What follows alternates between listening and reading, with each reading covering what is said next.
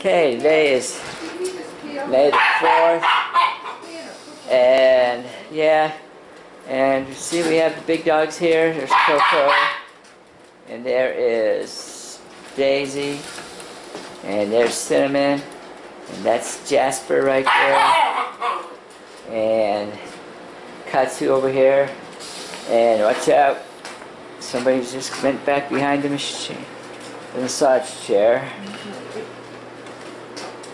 And as you can see, there we go. See? Do Shiba Inu puppies get along with adults? Yes, they do. There it is.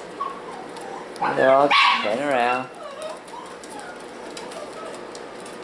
It's more like the adults are afraid of the puppies.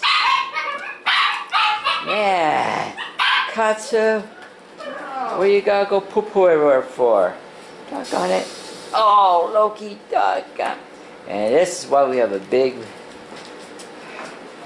washing bill. big water bill. because our puppies, we have to wash everything all the time. Okay, that's a cut.